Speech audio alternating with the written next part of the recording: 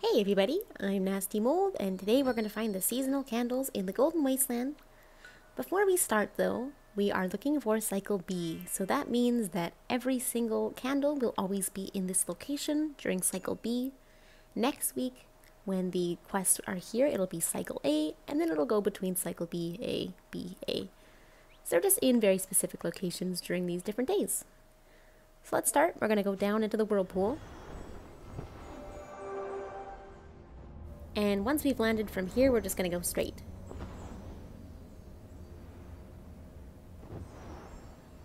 We're collecting four total candle clusters, which will give us one full seasonal candle.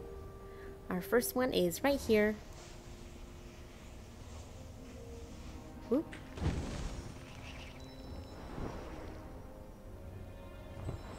Keep going straight towards this emote here.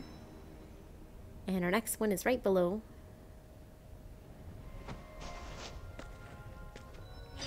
Oh my gosh, that guy just flew in like a crab explosion.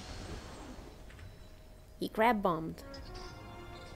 Our third one is right here.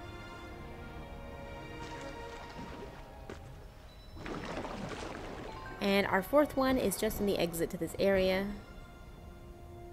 So over towards the graveyard.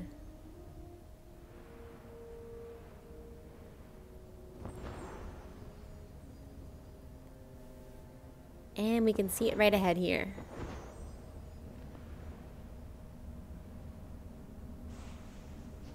And that is all four clusters, so this should give us one full candle. But it looks like I'm having that glitch, so we're just going to log out of the game really quick and come back, and we should have the candle. Alright, we are back, and we can now forge our candle. There we go, one seasonal candle. Thanks so much for watching, you guys. I hope you found this helpful, and I'll see you around.